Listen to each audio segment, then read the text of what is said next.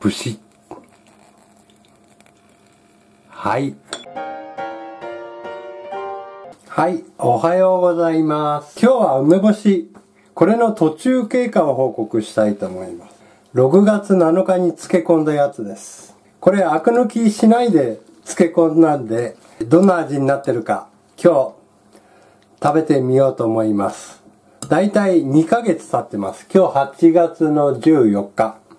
どんな感じになってるか見ていきます。うわ、すごい匂い。中身こんな感じです。結構いい色に使ってます。それで、カビは生えてないです。順調ですね。多分2ヶ月経てば食べられると思うんで、今日は1個食べてみたいと思います。こんな感じですね、下の方は。それじゃあ2、3個取ってみます。うわ、こんな感じでまん丸く、シワシワにはなってないです。これ青梅でつけてるんで、多分硬いと思います。はい。こんな感じで出来上がりです。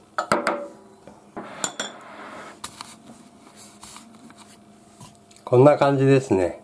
ああ、結構柔らかいです。ただ表面はちょっと張りがある感じ。じゃん。ブシ。はい。こんな感じです。じゃあ、もう見てるだけでよだれが出るんですけど。食べてみます。いただきます。ああー、酸っぱ。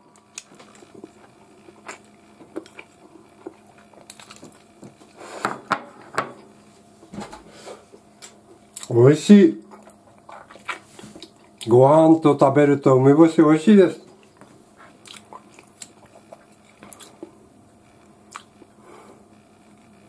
こんな感じです。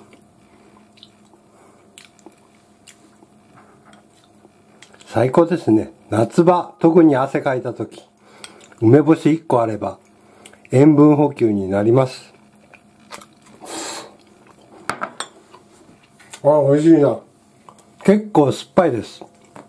もうちょっとこなれると味がまろやかになると思うんですけど、まだ2ヶ月しか経ってないんで。うん。で、心配してたアクなんですけど、全然感じません。めちゃくちゃ梅干しです。梅干し嫌いな人は、ええー、ってなりますけど。はい。美味しいです。これだけじゃ物足りないかなと思って、ちょっと梅干し使った卵焼き作ってみたいと思います。結構塩分があるんで、この梅干し半分ぐらいでいいのかなと思います。まあとにかくご飯美味しいです。やったことないです。まず梅干し。これ1個使っちゃうと多いと思うんで、半分ですね。半分でもまだかなりしょっぱいと思うんで。半分の4分の1まではいかないですけど、ちょっとこれぐらい、これで、えー、うわ、皮の方は細かく切って、身は結構崩れちゃってますけど。こんな感じですね。こんな感じで梅切りました。そしたら卵ですね。卵1個分溶いてます。甘辛で作ってみようと思います。砂糖小さじ1。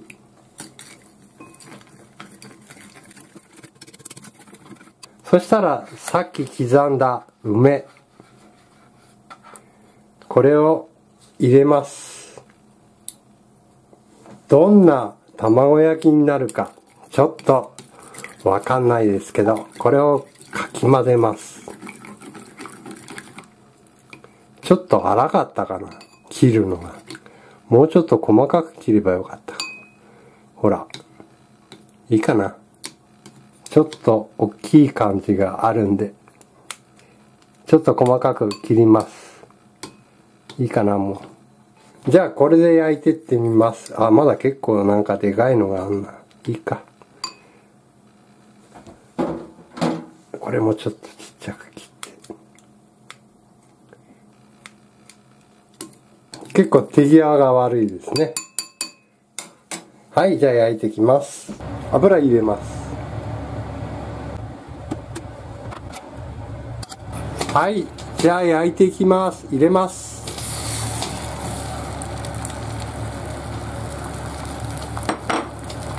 もう普通の卵焼きにしちゃいます。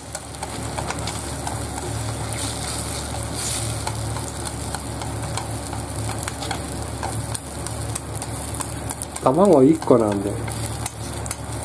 ちょっとフライパンが大きいですけど。まあこんな感じでいいと思います。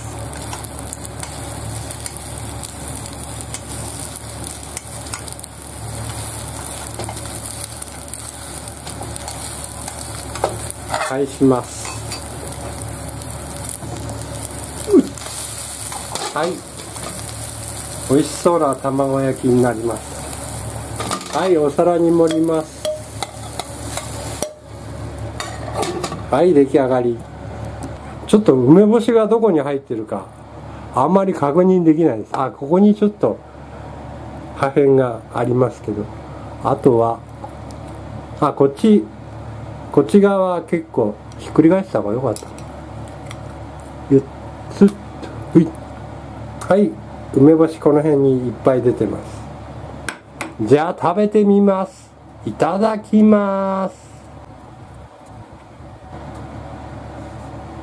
いただきます。ああ。やっぱね梅の味は結構します。これご飯と一緒に食べるとすごい美味しいと思います。美味しい美味しい。あの梅のこのでっかい部分が口の中入るとああちょっとしょっぱいかなと思いますけど。やっぱり塩味効いてますねこれ。美味しい。これご飯と一緒に食べてください。卵焼きだけだとちょっとしょっぱいです。はい。ということで今日は梅干しつけて2ヶ月後です。こんな感じで美味しくできてます。まあ美味しいというかあの梅干しらしい梅干しになってます。もう今からつけるのはちょっと無理ですけど。まあよかったら来年つけてない人は梅干し挑戦してみてください。今日はこれで終わりにします。よろしければグッドボタンチャンネル登録お願いします。じゃあね。バイバイ。